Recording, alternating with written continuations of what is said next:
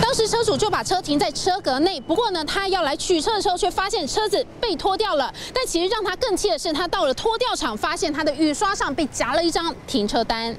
开了这张停车单，不就表示这是停车格吗？那又为什么会被拖掉？车子一开，仔细看，白色格线旁还能看得到祭次的字样，不过一旁还有红线，让人看了不飒飒。呃，连日下雨的一个关系，所以原本涂销的一个格线有部分的一个部分是浮现出来。原来是连日大雨，雨水把原本涂销的停车格黑漆冲刷掉了，原本被涂销的汽车停车格白漆当然就浮现，加上雨天视线不良，这不是误导民众吗？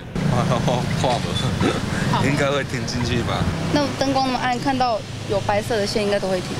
任谁看了都会停进去。不过车主更无奈的是，这一案怎么可以两罚？难道拖吊业者都没注意到车辆已经被开停车单了吗？红线确实现场是有存在的。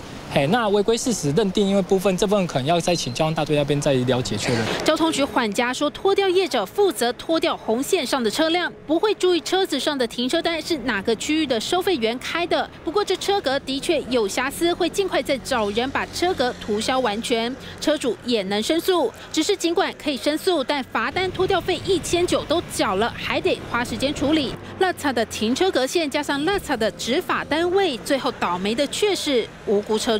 记者陈生一、赖不香高雄报道。